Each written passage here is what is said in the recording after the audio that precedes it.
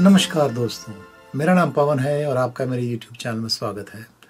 आज का लेसन एक गिटार स्ट्रमिंग प्रैक्टिस लेसन है। यानी हम एक बहुत ही पॉपुलर स्ट्रमिंग पैटर्न को लेंगे, जो कि मैंने अपने बहुत से लेसन में दिखाया भी है और हम इसे साथ में बजाने की कोशिश करेंगे। अगर आपको अपने स्ट्रमिंग को इम्प्रूव करना है तो आपको इस लेसन से ज़रूर फ़ायदा होगा। तो ये जो पैटर्न हम देखने जा रहे हैं, ये जैसा कि मैंने कहा, ये बहुत से गानों में यूज़ किया गया है। सबसे पहले मैं आपको कुछ पॉपुलर गानों के लेसन्स दिखाऊँगा, जो मैंने ही पोस्ट किए हैं, जिनमें ये पैटर्न यूज़ किया गया है। तो आपको ये पता चल जाएगा कि ये पैटर्न किस तरह से अप्लाई किया जाता है। उसके बाद मैं आपको धीरे धीरे ये पैटर्न बजा के दिखाऊँगा। हम बहुत ही सिंपल कॉर्ड लेके चलेंगे। मैं ए माइनर में बजाऊँगा, आप चाहें तो किसी भी की में बजा सकते हैं। और बजाते वक्त मैं आपको स्क्रीन पे सारे बीट्स भी दिखाऊँगा। और लेसन के एंड में मैं आपको कुछ टिप्स ज़रूर दे के जाऊँगा, ताकि आप अपने स्ट्रमिंग को इम्प्रूव कर सकें, चाहे आप कोई भी पैटर्न बजाएँ। इस स्ट्रमिंग पैटर्न पर मैंने आज तक जितने भी लेसन बनाए हैं, उनके लिंक्स मैं आपको इस वीडियो के डिस्क्रिप्शन बॉक्स में ज़रूर दूँगा। तो आइए मैं आपको अपने ही कुछ लेसन के क्लिप्स दिखाता हूँ, जहाँ पर मैंने ये पैटर्न यूज़ किया।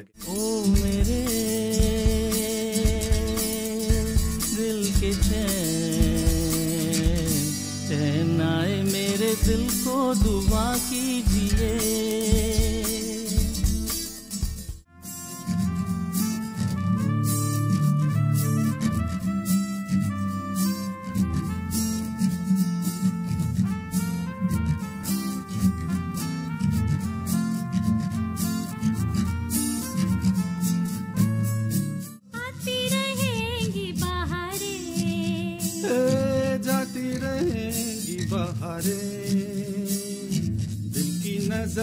से दुनिया को देखो दुनिया सदा ही हँसी है।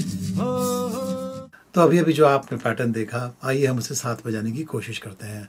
मैं धीरे धीरे बजाने की कोशिश करूँगा और जैसा कि मैंने शुरू में कहा सारे कॉर्ड्स और बीट्स स्क्रीन पर भी लिखे होंगे। आप मेरे साथ में बजाने की ज़रूर कोशिश करें। और हाँ आप देखेंगे कि मैं हमेशा की तरह पिक की जगह अपने फिंगर्स यूज़ करता हूँ यानी कि उंगलियों से बजाता हूँ। आप चाहें तो पिक के साथ बजाएँ आपके हाथों का एक्शन वही रहेगा जो कि मैं स्क्रीन पर दिखाऊँगा।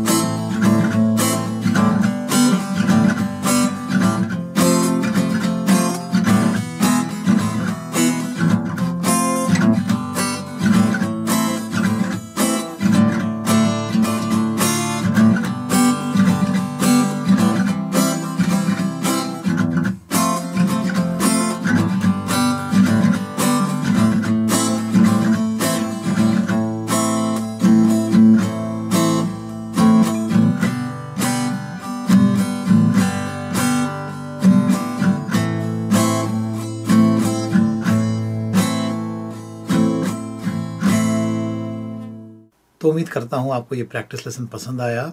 जाने के पहले मैं आपको कुछ स्ट्रमिंग के ऊपर टिप्स देना चाहूँगा। तीन बातें शेयर करूँगा। अगर आपको अपनी स्ट्रमिंग इम्प्रूव करनी है तो आप इन तीन बातों पर गौर करें, आप देखेंगे कि आपको बहुत फ़ायदा होगा। सबसे पहली बात, आपकी टाइमिंग सही होनी चाहिए। और टाइमिंग को इम्प्रूव करने के लिए आपको ट्रैक के साथ बजाना पड़ेगा, यानी कि बीट के साथ बजाना पड़ेगा। आप किसी भी गाने को ले लें जो आपको पसंद हो और उसके साथ बजाने की कोशिश करें। अगर आप गानों के साथ न बजा पाएँ तो आप किसी भी मेट्रोनो ऐप यानी कि बीट ऐप को डाउनलोड कर लें, बीट को ऑन कर लें और जो भी आपको टेंपो पसंद हो, जो भी बीट पसंद हो, उसके साथ आप धीरे धीरे स्ट्रम करने की कोशिश करें। आप जितना बीट के साथ बजाएँगे, जितना ट्रैक के साथ बजाएँगे, आप देखेंगे आपके स्ट्रमिंग के टाइमिंग में बहुत इम्प्रूवमेंट आएगा। दूसरी बात, आपके हाथों का जो एक्शन है, वो हमेशा डाउन अप डाउन अप चलना चाहिए।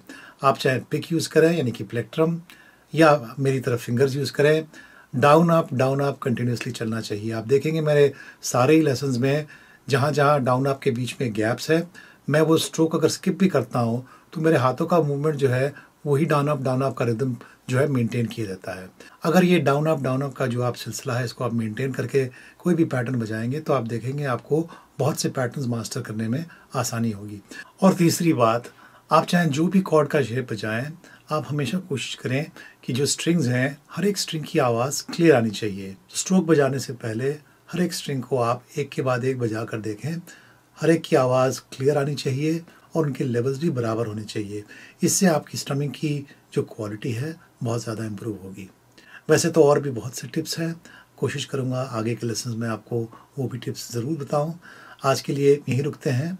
उम्मीद करता हूँ आपको ये लेसन पसंद आया। आप अपने मुझे कमेंट्स और फीडबैक ज़रूर भेजें।